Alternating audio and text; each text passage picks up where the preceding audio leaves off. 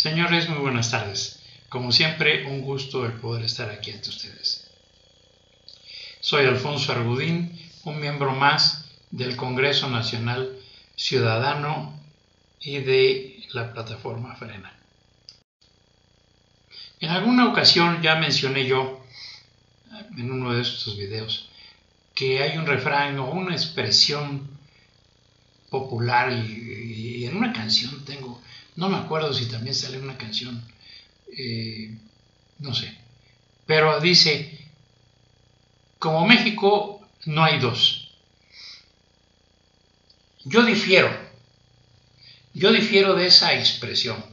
Yo diría, como el mexicano, no hay dos. El mexicano es ladino, traidor, acomodaticio, pedigüeño, barbero, lambiscón, todo lo que ustedes quieran de eso. Ahorita vemos, a raíz de todo lo que está pasando en nuestro país,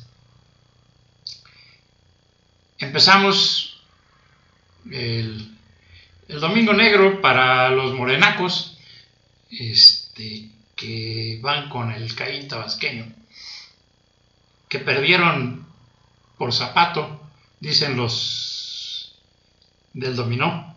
Yo no sé mucho, pero sé que así dicen. Este, dicen que perdieron por zapato. Perdió, así perdió eh, el Caín tabasqueño en, en Coahuila por zapato. En Hidalgo, en las elecciones que hubo ahorita en Hidalgo, el PRI arrasó en el 95% de, de, los votos. Hay tres alcaldías, entre ellas Pachuca, que eso fue para alcaldías, eh, que están en, en, este, en quejas. Porque ya saben, ¿no? Las trampas indudables del, de, la, de los de Morena y todo, trácalas que hicieron. Entonces están peleando tres para ver si les dan otro zapato también en, en Hidalgo. Inmediatamente salió el Caín tabasqueño a ordenarle a sus esbirros, lacayos, lambiscones y arrastrados que dijeran que había habido fraude, que el INE era fraudulento. Hace unos días el INE era lo mejor, le dio la oportunidad en un acto antidemocrático de estos miserables arrastrados que están ahí en el INE. Porfirio Muñoz Ledo les ganó por poco, si ustedes quieren, punto 5 de la, de la votación. Con eso era más que suficiente para que se decretara el triunfo de Porfirio Muñoz Ledo. Sin embargo, el INE dijo que eso era un empate no hay empates, idiotas. Si el uno ganó por el punto 5, ganó. Así es que ahora resulta que en ese momento el INE era lo máximo. ¡Qué demócratas! ¡Qué barbaridad! Qué, ¡Qué bueno! que El INE es una institución confiable. Ahora el INE es una institución traidora, ras, trácala y demás cosas. Total que no entiende uno al Caín tabasqueño y a sus esbirros. Esos lacayos que tiene ahí que se le arrastran Digo, por favor, hay que ser congruentes. Hay veces que se gana, hay veces que se pierde. Cuando, cuando ganaron, hombre, qué barbaridad y todo. Y se quería apropiar del INE para desgraciar al país. Ya lo tiene, que no se haga tarugo. Todos dicen que no, que el INE, que no, no, no. El INE le pertenece al Caín tabasqueño desde hace 20 años. Fácil. Nunca lo han tocado. En fin, el, el, este, el espurio que está ahí en el... Por culpa del INE, hay un espurio ahorita, desde hace casi dos años, usurpando funciones de presidente. Además, ese mismo espurio ya es un delincuente confeso, debería estar en la cárcel. Pero claro, el, fiscal Lacayo no lo va a hacer. Se le quiso ir encima al fiscal Acayo por órdenes del Caín a Loret de Mola. Todo el mundo pegó el grito en el cielo, ¡ay! Se echó para atrás el Caín. Pues bien cobarde, es cobarde él. Mientras que alguien se deja, lo va, a aplastar. En el momento en que alguien se defiende, ah, él recula. Se echa para atrás. Es, bien cobarde. Ese es su, ese es su, su formación. Cobarde y alevoso. Como dijo un, no sé quién lo dijo ahí, desde el púlpito presidencial arrasa con la quinta y los mangos. Ahorita ya no las trae todas consigo. Otro tema, también, fin de semana. Detienen al general, iba a decir un nombre, no es cierto, no me acuerdo el nombre del general Cienfuegos, si se pide. El general Cienfuegos, ex secretario de la defensa, generalete, yo siempre lo dije, generalete de porquería, no lo voy a cambiar. No me agrada, no. Respeto los estudios que ha tenido, sí. Respeto mucho la institución, sí. Pero él no. Yo siempre dije que era un cobarde. Yo no sabía por qué era la cobardía. Ahora resulta que está inmiscuido en el narcotráfico. Qué triste. Qué triste que un egresado del nido de aguiluchos sea así. Y se ha detenido. Ya está en Nueva York para ser juzgado. Qué barbaridad. ¿Y qué hizo el Caín? Guardó esa información, dicen unos que por 15 días. Lo que haya hecho, no me importa antes. Ahorita dijo que si los Estados Unidos decían, ya, ya lo declaró culpable. ¿Y qué hicieron los que fueron sus subordinados en el sexenio anterior? Y entre ellos, entre ellos está un tal, no ustedes lo recuerden, Chencho, Chencho Sandoval. Está ahí. Y todos los que están con él, con Chencho Sandoval, no me todos los nombres, obviamente, fueron subordinados de Cienfuegos. ¿Y qué han dicho? Nada, nada, nadie ha dicho esta boca es mía. Más bien ellos deben decir que esa trompa es de ellos. Cobardes, agachones, no defienden a su expatrón. Pero bueno, ese es el mexicano, para que vean. ¿sí? Ahí tienen a, a Manero. Tiene todo para meter a la cárcel al Caín tabasqueño. Todo. Y no hace nada. Asesino. Es un asesino serial. Ha, dejado matar ya. Deben andar cerca de los 80 mil muertos por, de forma violenta por el narco y, los, narcotraficantes, no por el narco, por los narcotraficantes. Ya están cerca de los 80 mil. ¿Y qué? Ah, eso, ¿qué importa? Que mataron a nueve en el hospital de Pemex, tampoco importa. Sí. Que hay 78 mil o 79 mil muertos por el COVID-19 porque no hay medicamentos no importa que sigan, que se sigan. Como dijo el imbécil ese del Gatoel, los que se murieron, ya se murieron. Digo, muy, muy, muy filósofo el imbécil ese. ¿Y qué hizo el Caín? Reírse. ¿Y qué hizo el fiscal Lacayo? Guardar cobarde silencio y cómplice silencio. Así es que, ¿ustedes creen que algo está bien? No, ¿verdad? Nada bien en este pobre país reaparece Anaya, Ricardo Anaya, a defender al Caín, ¿sí? Porque como le pegaron los del PRI al, al, Caín tabasqueño, el día de hoy apareció Ricardito Anaya a decir que cómo podían haber votado por el PAN si era si es un partido de corruptos. Que no se muerde la lengua, por favor, porque es su partido mira que si hay corruptos. Podemos hablar. Pueden buscarles. Fox y su familia, este, y la familia de su segunda esposa, él mismo y todos los, muchos de sus ayudantes. El águila mocha debe estar en la cárcel por haber eh, deformado el, escudo nacional. ¿Y qué hicieron? Nada. Yo siempre lo critiqué desde, desde diciembre del 2001. Siempre le dije, el Caín, el Caín Salud. Eso es el águila mocha. Mis amigos de las Fuerzas Armadas, no, Alfonso, que tú, que... Yo nomás les decía, a ver, ¿quién le, quién le dijo a este imbécil que el escudo nacional es el, es el, este, el membrete de una empresa? Para que lo pueda deformar a la hora que se le pegue la gana.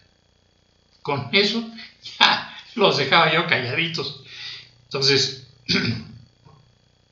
Ricardito, ah, mejor regrésate a tu, a tu retiro y no estés diciendo estupideces. Sí, por favor, no lo dudo, pero antes de abrir la boca, cuando menos, ve lo que vas a decir para ver si no te vas a morder la lengua.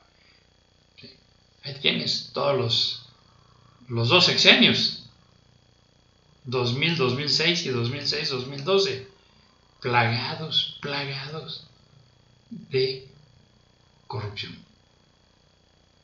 Sí, entonces, mejor cállate y no estés defendiendo al Caín.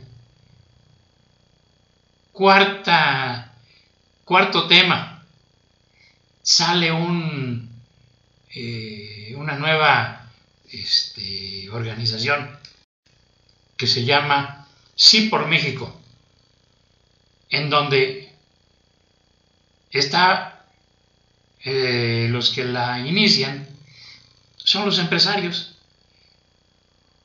¿Eh? Los empresarios. Yendo de rodillas a besarle las patas al Caín tabasqueño. Es para que vean la clase de, la clase de cobardía que hay en la iniciativa privada. Disque, que no es tan privada, son sus aliados, son los que él ha corrompido, son los que le tienen que dar una comisión por cada contrato que les da, porque ya no hay licitaciones. Aquí en este país se acabaron, se acabó la democracia, se acabó la, la honradez. Aquí, yo no sé quiénes son. Hay uno, no quiero decir su nombre, yo no lo conozco, yo no sé cómo sea, pero nada más por el simple hecho de haberse ido de rodillas a besarle las patas al cañita vasqueño, me merece mi desprecio. Nada más por eso. Eso de que, ay no, Andresito, no, no te enojes con nosotros, ¿eh? Nosotros somos fieles y vamos a estar contigo. Digo, ¿qué clase de imbéciles son esos que le hacen eso a su país? Deberían de, como dijo Francisco Martín Moreno, eh, me gusta mucho cómo escribe, pero aunque difiero en algunos temas con él, como todo, tenemos derecho en la de diferir de, de mis puntos de vista. Nunca hemos tenido la oportunidad eh, de platicar. Perdón. Un amigo mío me dijo que me lo iba a presentar. Nunca lo hizo. Este, muy buen amigo mío, César. Me dijo, yo te lo voy a presentar, Alfonso, y vas a ver que te va a... No, le dije, mira, este bruto... se rió. Dije, bueno, bruto nada más es una expresión. Le dije, no, no tengo nada en contra de él. No estoy de acuerdo con él en algunas de sus expresiones, pero por regla general, los libros que he leído de él han sido muy buenos. Muy buenos. México acribillado. El más trabado de todos para mí fue, eh, que era? Ay, el oro negro. Algo de petróleo fue un, buen libro, pero muy, muy, muy tedioso, muy, no sé, como que no tenía mucha acción. Ya me gusta que sean más ágiles las lecturas. Pero esa de eh, la que hizo de Juárez y Maximiliano estuvo sensacional. Ya hubo varios libros de él que me agradaron. ¿sí? Después de Luis Espota, él. Y creo que él sería mejor que Luis Espota. Pero bueno, vamos a dejar que Luis Espota ya fue el que inició la cuestión de, la, de los libros de política. Entonces se merece el, el primer lugar. Don Luis Espota, que en paz descanse. ¿Y, eh, qué más teníamos de Luis, de Francisco Martín Moreno? También él. Yo los crucificaba, estoy de acuerdo con usted. Y digo, ¿de usted porque es más viejo que yo? Este, por eso se merece, no sé, la verdad es que fuera de cotorreo, no sé, ya, no sé, creo que sí es más grande que yo. Y si no, se ve muy maltratado. Él va a decir lo mismo de mí. Este, pero yo creo que él sí ya rebasa. Yo creo que él anda por los 80 tranquilamente. No lo sé. Ni me interesa. Muy buen, muy buen escritor. Ese fue la, un coladito por ahí. Pero es para que vean la clase de corruptos idiotas, arrastrados y lambiscones que hay en la iniciativa privada. Yo soy conservador, soy republicano, no soy demócrata, soy republicano. Los demócratas, como están allá en México, me gusta la democracia, como están, perdón, en los Estados Unidos, los, demócratas son los que tienen la tendencia a la izquierda, y los republicanos a la derecha. Si es así, soy republicano. Entonces, a mí, eh, yo amo a mi país, pero mucho. Le juré hace 57 años y 6 meses lealtad, servicio, trabajo por mi patria. Y aquí estoy, dando la cara por mi patria. A los viviendo los primeros 10 meses ya de mis primeros 75 años. No voy a cumplir los segundos, estaría yo loco. No quiero llegar hasta allá. Pero, pues bueno, es la broma que decíamos, son mis primeros 75 años. Voy en el mes 10 de mis 75 años. Entonces, así las cosas para que vean la clase de idiotas que están en este país y que son la voz pública. Uno no, a uno ni lo pela, a uno no, no, no es cierto, no, no. No. Es más, también dice el, eh, la expresión o el refrán como que nadie es profeta en su tierra. Yo soy, no me acuerdo el nombre del señor del Home Depot, creo, eh, que dijo que porque le preguntaron que por qué estaba con Trump y les dijo, bien fácil, yo me acuerdo, o sea, yo comparo a Trump con el general Patton. El general Patton era brusco, hablaba como militar que era, hablaba de forma espontánea y como lo que él sentía, y era brusco al hablar, y por eso no llegó más lejos, porque era muy brusco en hablar, y decía la verdad. Entonces, este, en una película de él, algo dijo, le, le dijo, eh, yo no brindo con ningún hijo de la mañana que al ruso en su cara, a un general ruso. Y estaban los dos en Berlín. Y el otro le dijo, es usted un tal por cual. Ah, entonces vamos a brindar de tal por cual a tal por cual. Así sí brindo contigo. Entonces, y después, por andar diciendo malas palabras, que me lo revientan al buen Patton, mi admirado Patton. Él fue el que de los que ganaron la Segunda Guerra Mundial y lo mandaban atrás para que ya no, ya que ganaban al frente, órale, vete para la retaguardia, mano, para que no vayas a abrir la boca aquí a la hora que entres a París o a la hora que entres a Berlín. No pudieron evitar que llegara a Berlín porque le ganó el brinco al, al inglés, que era lo que los aliados querían, que entrara el inglés. Y dijo, patón al diablo con estos miserables y que se mete.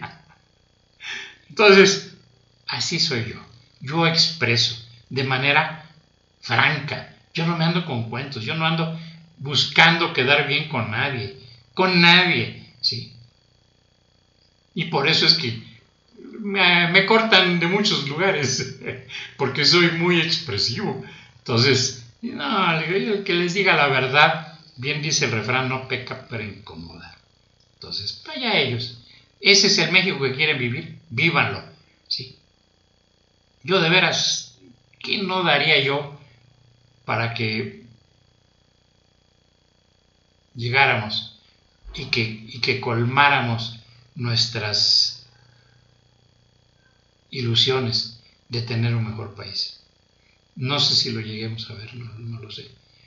Eh, Gilberto Lozano ha hecho cosas buenas, pero se ha rodeado, como siempre, no faltan los, los lambiscones que ahí están. Y, no, no, no, aquí se trata, pon las cosas en su lugar, punto. Sí, obvio, yo nunca voy a llegar cerca de Gilberto, ni me apura gran cosa. Yo lucho desde mi trinchera y no les hago caso a los demás.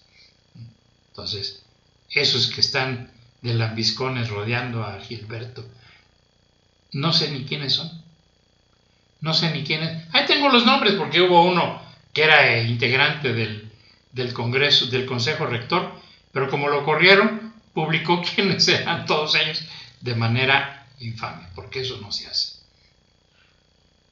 En fin, tipo sin dignidad, sin orgullo, sin, sin ningún miramiento de lealtad, nada. Ah, no hiciste lo que yo quise, entonces no te aguantaste lo que yo te dije. Ya me corriste, ah, pues ahora te, ahora te voy a balconear. Y eso se ha dedicado. Qué triste. Y sus amigos me han, me han evitado el que yo, yo cada vez que estoy, eh, pácatelas o vas para abajo. Así es la vida. Ese es el mexicano. Ellos no quieren, ellos quieren ganar, pero quieren ganar para estar ellos, para poder robar ellos. Y yo no, yo lo que pretendo es llegar y ayudar a mi país, y ayudar a la gente, y hacer empresas. Yo no digo que no haya empresas, al contrario, que haya, pero puede haber empresas de, las gentes, de, de los mexicanos, de los, de los de a pie, de los que no han hecho negocios con el, con el gobierno, de Peña, de Fox, de Calderón, de, los que me pongan, ¿sí? Y poner a esos mexicanos, si lo he dicho aquí, enseñarlos a trabajar. Ponerles una empresita pequeña, una granja, de esto, de aquello. Yo a mi ayudante, tengo un ayudante, estrella, mi ayudante estrella ya tiene una granjita de unas cuantas gallinitas. Ya no tenemos que comprar huevo, ya tenemos, ya empezó a producir, poquito, pero empieza a producir. En unos, en un mes, una cosa por el estilo, va a empezar a producir más. Ya le dije, esto es tuyo, yo no, no me meto. Yo, eso es, esta es mi herencia, para ti. ¿Por qué? Porque me ha ayudado en muchas cosas. Un excelente muchacho, de extracción humilde, pero muy inteligente.